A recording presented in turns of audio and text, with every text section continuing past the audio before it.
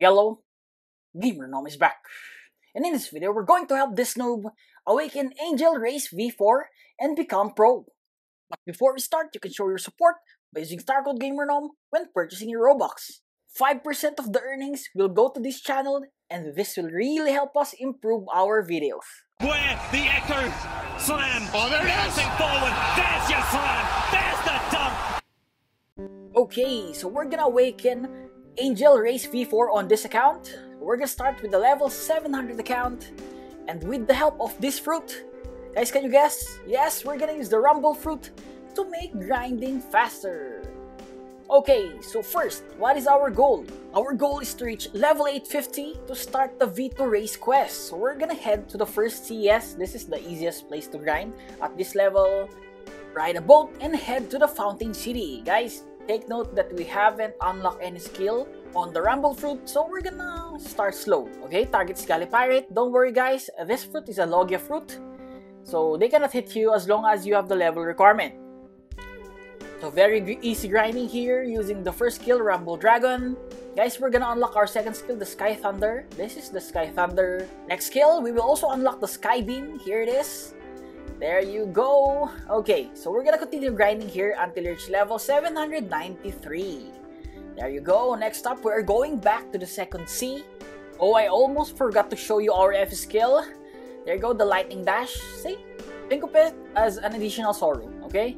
So target here is Swan Pirates. Again, same strategy with the Galley Pirates. Very easy. I mean, we're just gonna focus on grinding really fast, right? So there you go, guys. Level 850.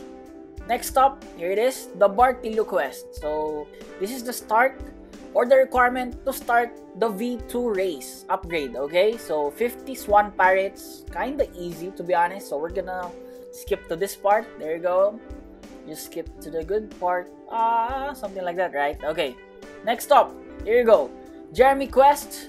Actually, you can get a quest or just defeat him. There you go. After that, Bartilo will ask you to go to the Coliseum. Here it is. Guys, remember this code YXCSMFNB. There you go. That is the correct order of the letters here that you should tap. There you go. F N is next. Where it is. There you go. And B. That's it. You will get a helmet. This helmet is really good for PvP. Okay, next up, Green Zone. Look for the NPC Alchemist. Okay? So talk to him, there you go. It appears that you blah blah blah blah blah. He'll ask you to look for three flowers. So for the red flower, you can only find it at day. Okay, here it is. I have a separate video of this.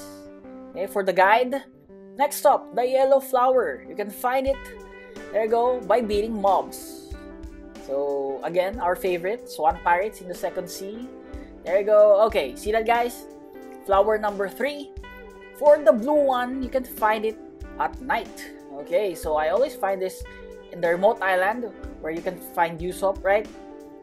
After that, head back to the alchemist and pay him 500,000 bellies to upgrade your race. So now guys, it will, uh, this is all about your jump, increase jump, blah blah blah, reduce cost, blah blah blah, that's it. Next target, level 1000. Okay, so back to grinding. So guys, we're gonna grind here with the Swan Pirates until you reach level 925, okay?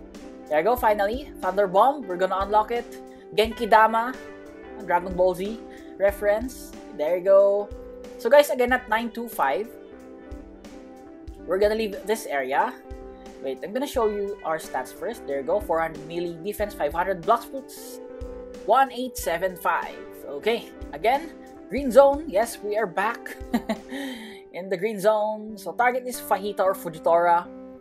So guys, we're gonna skip this part. We're just gonna fast forward. Okay, we're lagging. I think we're lagging. There you go. Guys, here we're gonna grind until you reach level 1000, okay? So start doing server hop here.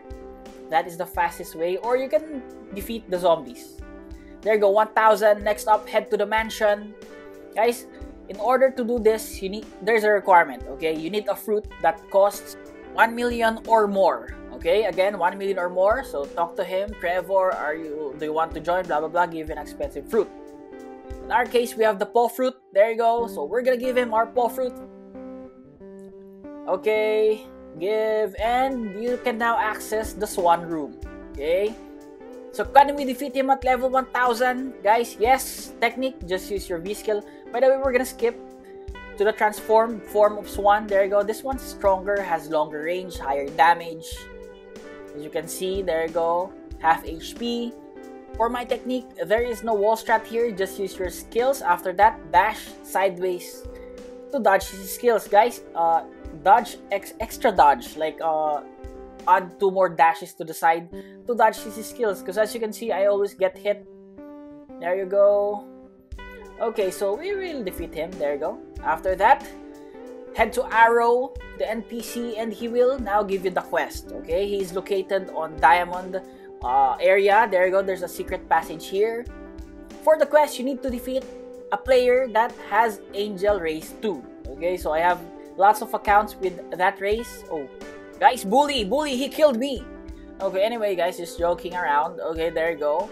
After that, head back to Arowe and pay him 2 million bellies. And after that, congratulations, V3, Angel Race, and you will unlock a skill, Heavenly Blood. Basically, this is just a heal, okay?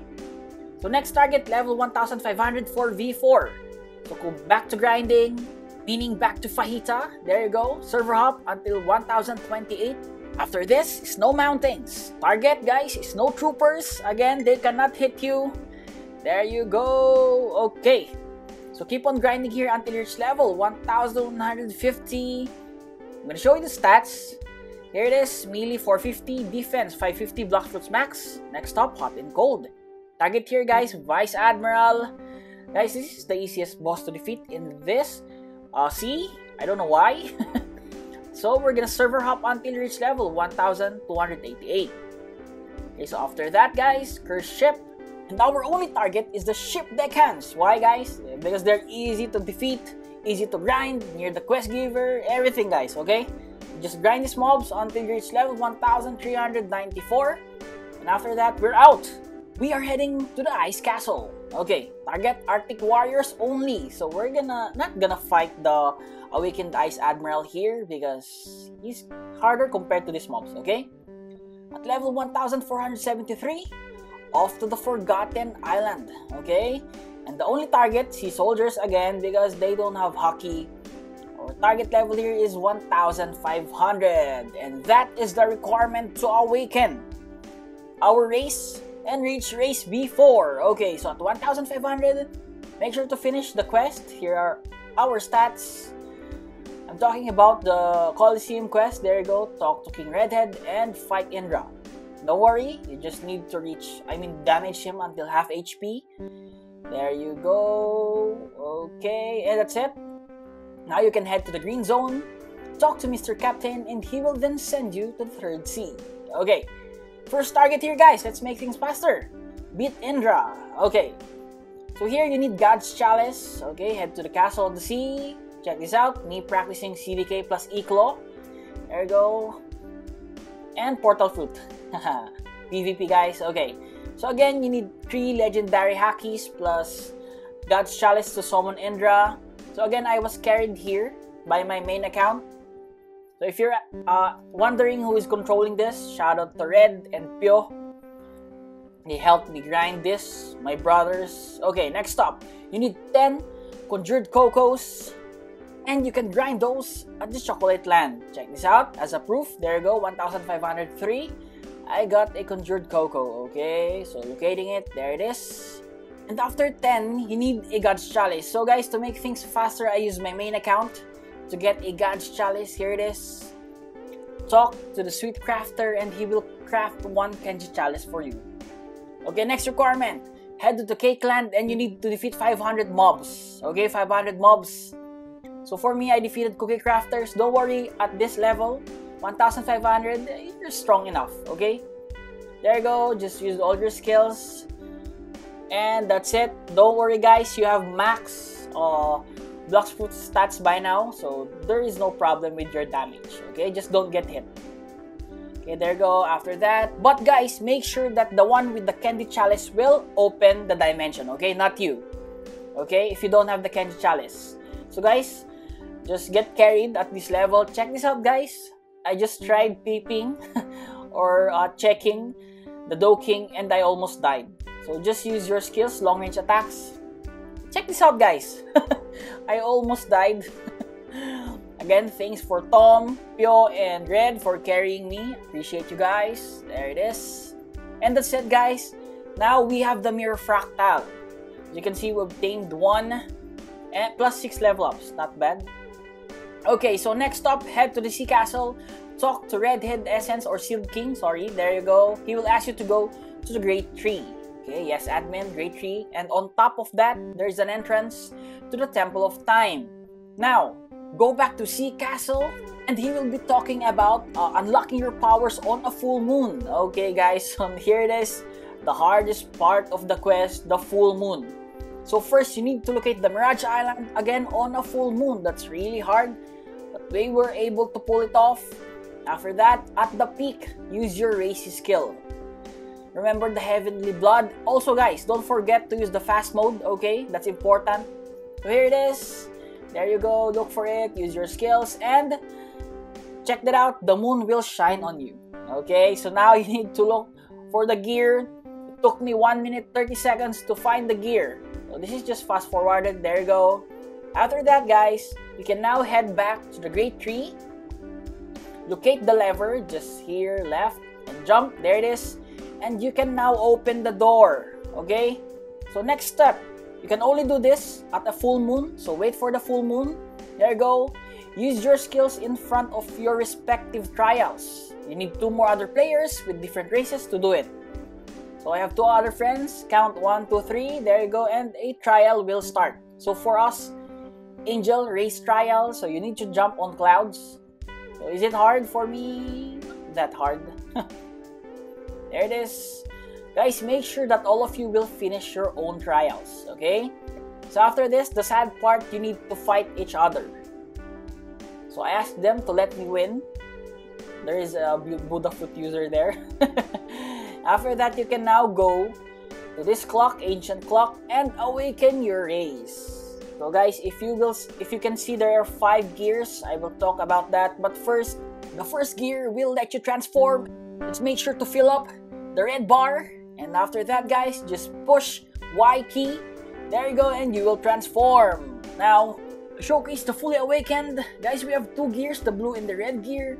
And one of the gears will make you fly and glide. So you are seeing it now. There you go. And the other gear will give you a Conqueror's Haki-like uh, skill. So here it is. As long as your enemy gets near you, they will bow down to you guys.